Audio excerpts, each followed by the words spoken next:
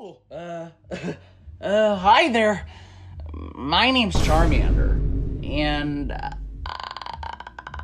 I recently learned a new trick.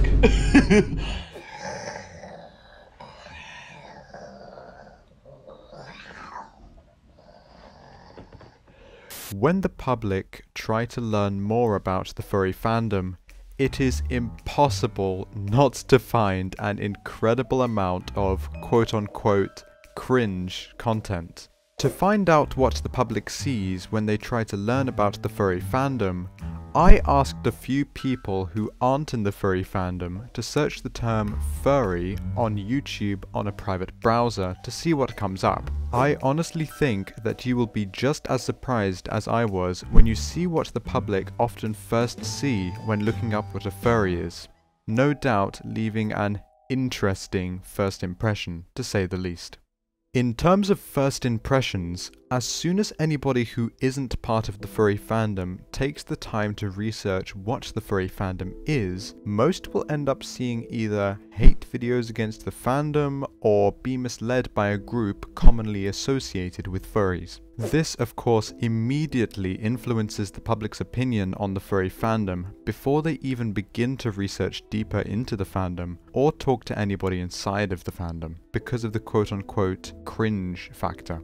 Instead of portraying fursuiters as goofy or enjoying themselves by expressing themselves creatively, fursuiting is often portrayed as a public expression of a kink or as people who are interested in interacting with children in strange ways.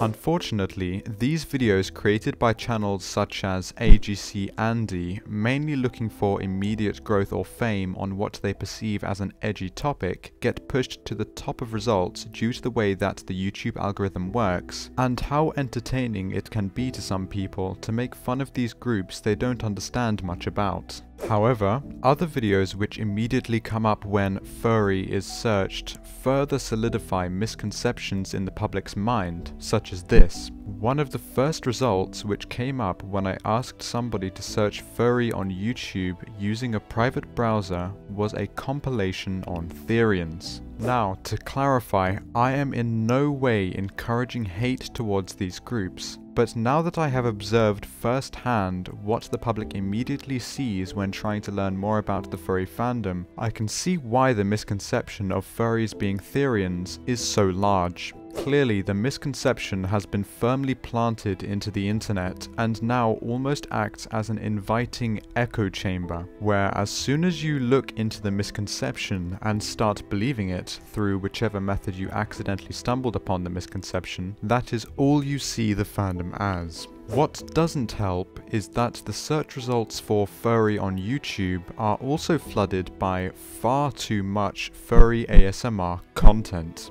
Now, personally, I don't mind what people want to watch, and I'm sure that a few people in the furry fandom like this type of content. However, due to the way that ASMR is generally perceived in wider society as quite cringe, I'm sure that you can see why the furry fandom is perceived as such a cringe group by the public. Unfortunately, this also makes it incredibly easy for the public to be convinced that the furry fandom is involved in other activities which are generally shunned in wider society, such as most only being interested in NSFW content or having bad intentions. However, there is a light at the end of the tunnel. There is some content that also comes up in that initial search made by large channels which portray the furry fandom as it is intended and give truthful and accurate information to the public. The problem is that it is quite hard to find unless that is what you're looking for. And just like anyone else, often the motivation to look into something that interests you fades quite quickly unless you find something meaningful to watch or look into further.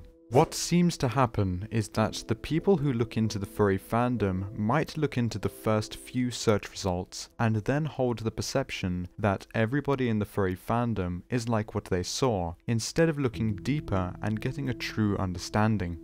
I encourage everybody who is watching this video that doesn't know much about the furry fandom to look deeper and only look into the information which is truthful and accurate.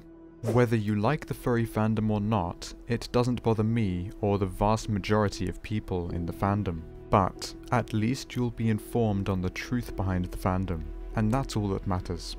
And with that, I hope you all have a fantastic day.